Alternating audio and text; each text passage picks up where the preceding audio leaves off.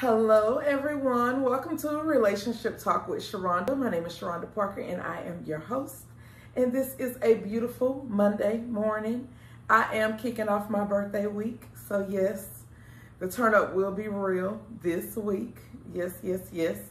Um, I just want to get right off into this live because I have something that I want to say at the end of it. And I know that's probably why a lot of people logging on because they want to hear what I got to say. But um, I had a customer to come in and she tried something new in her bedroom called tails. Of course, uh, she said that when she was in the kitchen, she was actually wearing one of the tails and it kind of caught her man off guard because he wasn't expecting it, but he bent her over that kitchen table and the other hole that was available, he had so much fun with it. She said he was taking that tail and he was slapping it up against her because she's actually wearing the tail, right? She said it was such an awesome, amazing feeling that it was just um, it was just something different to bring to their uh, to their relationship. So a lot of you like, okay, well, what is a tail? All right, this is what a tail is because we are still in anal August. So this is a tail. And then we have the one that looks like a horse tail. Uh, this one is the unicorn, the horse, the bunny. And then we have the foxtail, the all white that comes with the ears and everything. So that is the tails. And if you are interested in the tails, they are on the website. Okay. All right. So this morning I wanted to get the product out the way so that I can actually get into the live. Okay. I want to talk about addiction okay? And I'm going to be real transparent with you, okay? A lot of people use addiction as a way to cope with situations a lot of times because they don't want to go to therapy. A lot of times they don't want to take um, psychiatric medications or sometimes they just don't know how to cope. And then you have some people that take their psychiatric medications, but yet they combine it with recreational drugs or whatever.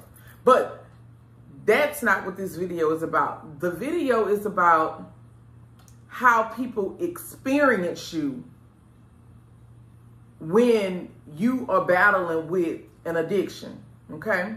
A lot of times when you're dealing with people and they are battling with an addiction, a lot of times they are in denial, okay? They don't feel like the situation is as bad as it is. Um, sometimes they feel like the people around them are just blowing things out of control. And I don't know if you all remember me telling you, but when I was growing up, my senior year of high school, I found out my mom was addicted to crack. At first, I didn't, I, at first I couldn't tell. Okay, I'm gonna just say it like that. At first I couldn't tell because nothing changed. I didn't even know what was going on. But let me tell you something. When you start coming home and you see the television gone, you see the VCR gone, you start to see certain little things and you know they like oh it broke and it's in a repair shop and it's here and it's there and it's at the other. And as a naive child you just like well okay because you're gonna trust whatever it is that your parents tell you. But for me addiction is a huge deal breaker for me. And i'm gonna tell you why. I remember being um, a senior in school and i remember getting out of school early and going out uh, to my job then they had like ceo uh, CEO, corporate office education. C, no, I'm sorry. COE, corporate office education. They had a program called DECA. And that was uh, the two high school programs where you get out of school early, you can go to work. I got out of school early and I went to go to my car. My car was gone. My mama had to rent my car out.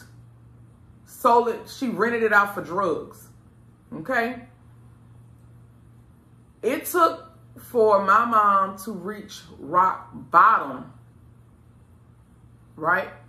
Literally lose everything, her place to stay, like literally lose everything for her to really catch her head. And once I had my daughter Gabby, she really, really pulled it together, okay?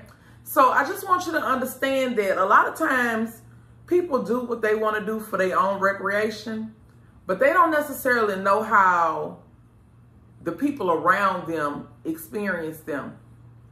I remember when I had a lot that I was dealing with, like after losing my mom and all of this kind of stuff, I started drinking a lot. When I'm saying drinking, like right now today, I don't even really drink. Like if I'm in a restaurant, I may drink, I may not, I may get a beer, but I don't really drink hard liquor.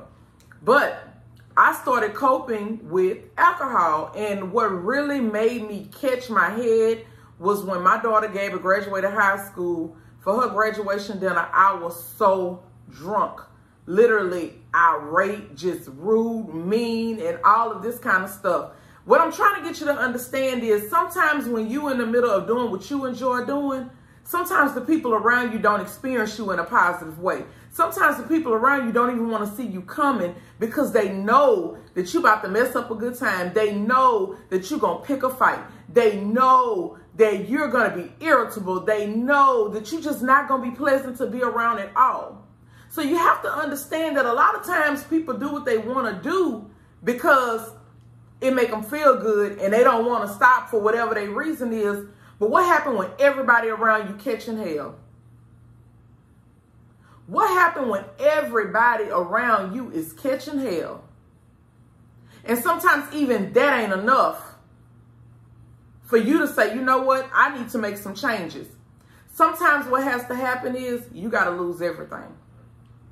Sometimes when you lose everything, you'll get a better understanding that you was making the people around you miserable as hell. All because you was dealing with an addiction.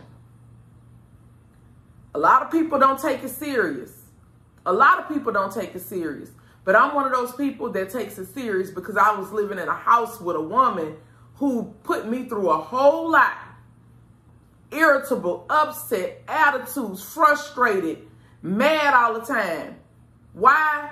Because you want to get high, you ain't got the money to get high, or either you didn't got high and it transformed you into a whole nother person and don't nobody know. Like it's just too much to deal with. And a lot of times when you're dealing with people with addiction, from moment to moment, you don't know what you're about to deal with. And that shit is dangerous. Okay? So I just want the people who do their thing to understand that do your thing, but how do the people around you experience you when you doing your thing, after you do your thing, before you do your thing, when you ain't got your thing, how do they experience you? Okay? All right, y'all. My Cash App is below. If you have not blessed this platform and you like to get on here and you like to watch these videos, if you don't bless it no other week, this the week to bless the platform. This the week. This is my birthday week. I'm turning 41. I already did a bullet sale for $4.10. I think they got a few more of them left online. If you didn't take advantage, you can still take advantage. There is a 30% coupon code on my website. It is HB41. So you get 30% off your whole purchase. So take advantage of these great deals and enjoy your Monday. Oh, let me give a shout out to Errol and Joseph for my birthday pin. Thank you, thank you. You know I'm going to be wearing this the whole week. All right. Y'all be blessed.